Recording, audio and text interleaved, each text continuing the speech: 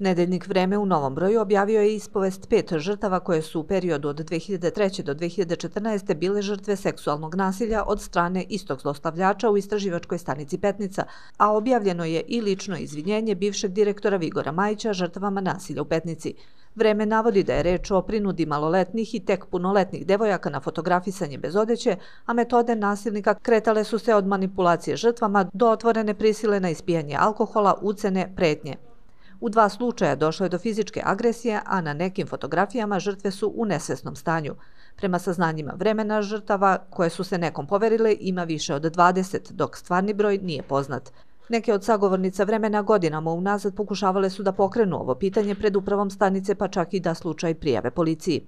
Prema rečima Majića, ali i sadašnjeg direktora Nikole Božića, uprava je od 2014. godine imala saznanja da postoje problemi, ali prave mere preduzete su tek 2017. godine.